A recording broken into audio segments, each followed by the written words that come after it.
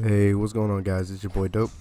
So, Black Ops 6 Zombies is coming out pretty soon. It's going to be like around like October, November, or something like that. I think there's going to be early access or something sometime soon.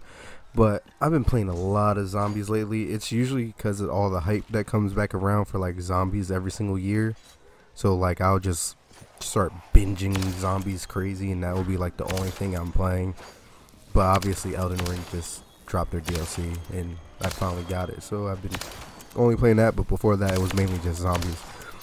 But anyways, um, I tend to follow, you know, threads, subreddits, and you know, YouTube videos and stuff like that about zombies. But it's mainly like nothing too deep, like that. I really, really will just like throw my whole life on on a certain take or anything like that.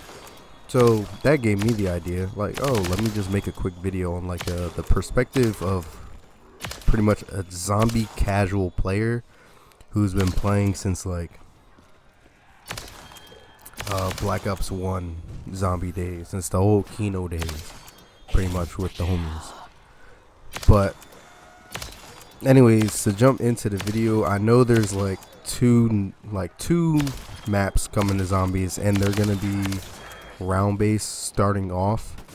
So, which is great news starting off with round base zombies. I know, I think, I think, keep in mind, I don't know everything. I believe maybe around Vanguard is when they got rid of that whole concept of just round base in general. Maybe uh, Cold War. I'm not too sure which one came first because I just remember Vanguard is probably the only COD game that I didn't buy in rotation. I've bought every single COD game since Black Ops 1 on release except Vanguard. Vanguard I ended up buying maybe like two or something years later. So I'm not I'm not certain about that. But I just remember around that time people were complaining about round based zombies not being a thing and then they eventually added round based zombies but zombies was pretty much already dead at that point.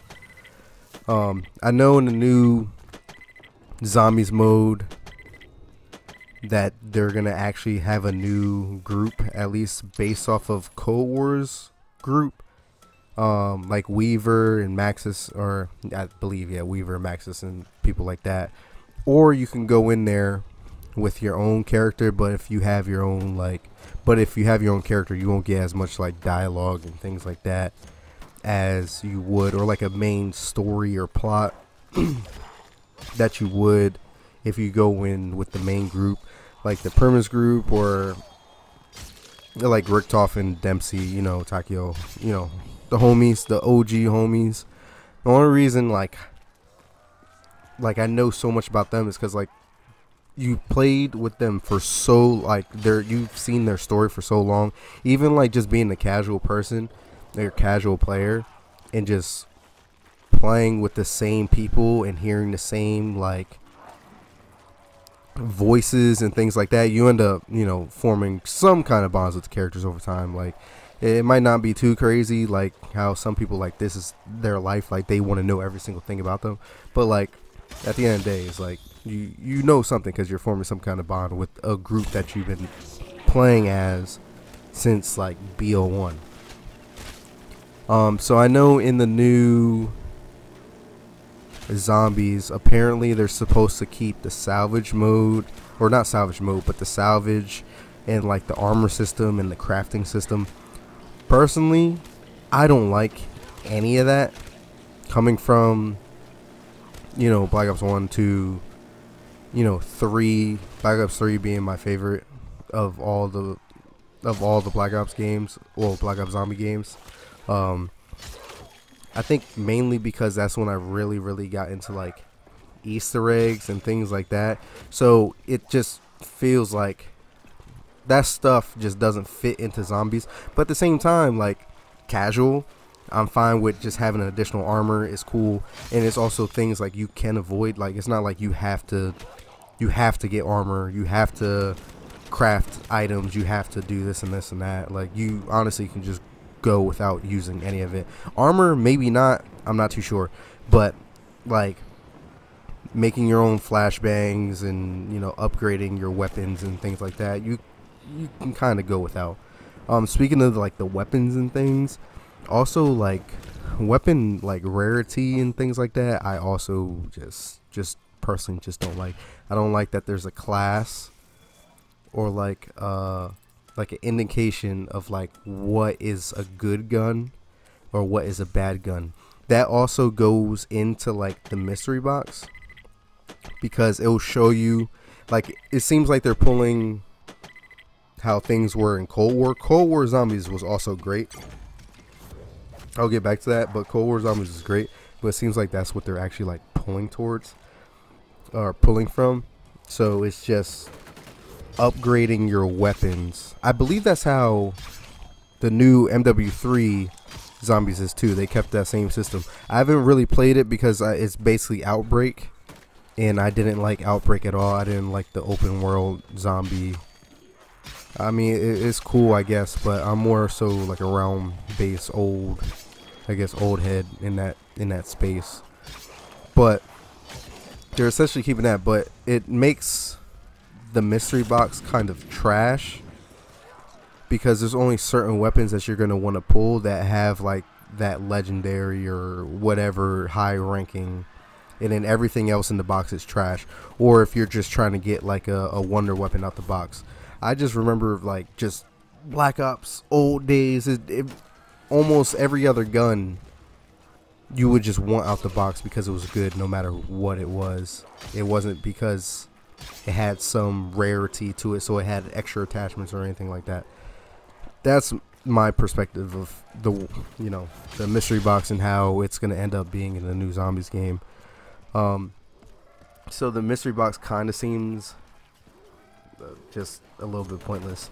Um on to the next topics of like easter eggs. I didn't really get into like easter eggs for zombies until black ops 3 that's when like my normal casual kind of went into like fiending over zombies. I ended up doing like every single Easter egg that there was in all of Black Ops 3. Even the old um, Chronicles where they had their like smaller Easter eggs and things like that. All of them. Like that's when like Easter eggs was like in like my head that this is like fun. This is just something I want to do even though people don't really like Revelations, is what I've come to find out. Revelations is actually my favorite map. Like other than that, Der Draka, like that's obviously like everybody's number one. That's my second favorite, but Revelations is like my go-to map. That was like the first map. This is how casual I am. That's the first map I hit level 100 on. So that's like where my my stats pretty much lie for zombies and things like that. So speaking of like Easter eggs and things like that, for Black Ops 6, Modern Warfare, not Modern Warfare, Cold War was cool because like it would give you like details in step by step on how to complete Easter eggs. I remember complaining to one of my friends when the game first came out that how casual that is and how simple that is and how kind of like it kind of took away from the experience over time I kind of changed my mind towards that because it also opened the gates for like my friends playing zombies with me and then also them completing the Easter eggs because they're more casual at zombies than I am. Like when I say like I'm a casual, I just enjoy just everything about zombies. Like I enjoy the round base, the Easter eggs, and things like that. For them, it will be like they had no interest in zombies but would play it. I wouldn't really consider that casual. Maybe that is. Maybe my my definition is a little bit different. But so that's where like the Easter egg lies. So hopefully they have a mix of both. Like they'll have their like step by step.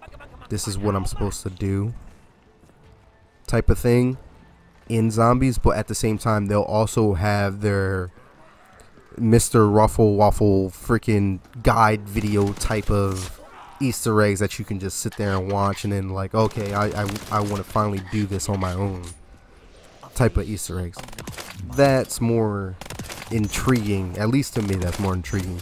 And then also like keeping it as in you can leave after like every like 10 or 15 rounds i think you can ex- extract or something like that that's cool too because some people actually get you know tired of zombies and would rather just like all right cool like i want an actual ending compared to playing until i die pretty much.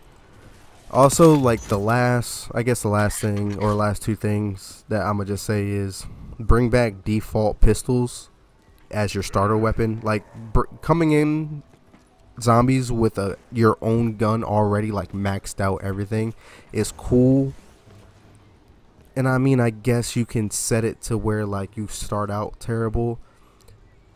I don't know. It, it, it falls into like do you really want to gatekeep how other people play is pretty much that aspect. Because like at the end of the day you can change it to like you start out with a base pistol and you start out from the grind and then if someone else is like, you know, I want to start out with a max LMG gun round one, I mean, it kind of takes away from the experience. But I guess if you're having fun playing that way, you're having fun. So it, it's really dependent on the person. My last point, or I guess ramble at this point, I don't even think I've been making points, it's just rambling, is the gobblegum system. I personally like gobblegums and feel like it's how the person uses the gobble gums. Exactly how I was talking about, just like your starter weapon. It pretty much falls in the same thing. When I use certain gobble gums in games, it will literally like just be towards like the nonsense one, like zombies start flying in the sky or use ammo from your restock. It's like things like that. It's like I'm not gonna work walk around with like perkaholic and shopping free every single round because at that point it's like all right well you're kind of having an advantage. I mean it's different from you unlocking it back in like old bo3 days like before the mods and stuff. Like you have to just get the dr monty's like fuses or something like that and then eventually like you gamble and hopefully you'll get like a shopping free or something like that. Nowadays it's like you that's like you have unlimited versions of it. So it's like are you going to keep using it or are you going to actually like have some kind of fun? At least in most of like the modded games I play with like actual other people. Most people just tend to not use like things like that because it like makes the game not as fun. Like sometimes you just actually enjoy the challenge. But that's pretty much it. Other for my topics, um,